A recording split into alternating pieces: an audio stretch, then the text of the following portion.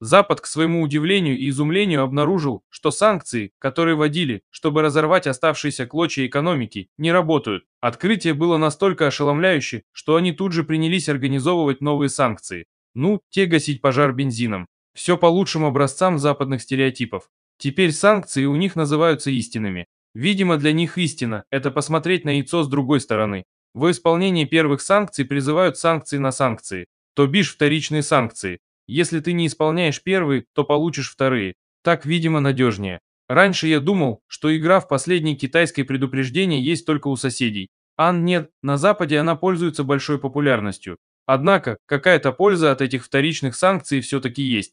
Примером такого вторичного послушания является Кипр. Некогда тихая гавань для многих и многих крупнейших предпринимателей и компаний, которые укрывали свои доходы от всех налогов на территории своей страны. В этот офшор стекались десятки бизнесменов, которые таким образом обходили санкционное давление и сохраняли свои сбережения.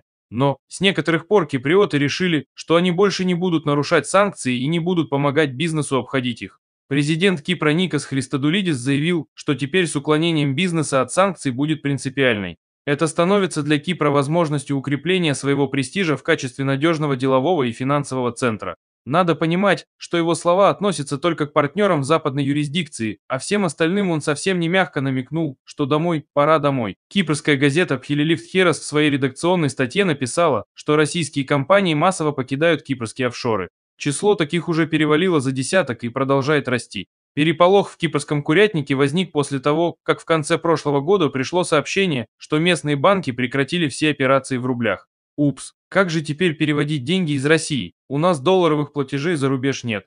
А уж когда власти начали какие-то нам расследования и разбирательства в отношении компаний, которые якобы скрывали и отмывали активы российских олигархов, попавших под санкции штатов, то у бизнеса наконец-то прояснило, что ловить здесь больше нечего. Под эту метлу могут замести любого. Слава богу, что сегодня в России созданы очень привлекательные условия для льготного налогообложения и наши офшоры не менее приятны, чем те же кипрские. Налоговые послабления существенные, есть исключения из налогооблагаемой базы доходов в виде акций и доли экономически значимых предприятий. Поэтому весь крупняк потянулся в родные пенаты. А это дает основание говорить о том, что в России будет новый экономический рост. Понятное дело, что раз увеличивается количество налогоплательщиков внутри страны, то и собираемость налогов и наполнение бюджета будет больше. Одни сплошные плюсы. Надо не забыть послать тортик киприотам со словами благодарности по поводу усиления санкционного давления на наш бизнес. И бантик привязать побольше. Наш девелопер Эталон меняет юрисдикцию на остров Октябрьский в Калининградской области. Тем самым они стремятся снять многие риски с компаний и увеличить приток инвестиций в свой бизнес.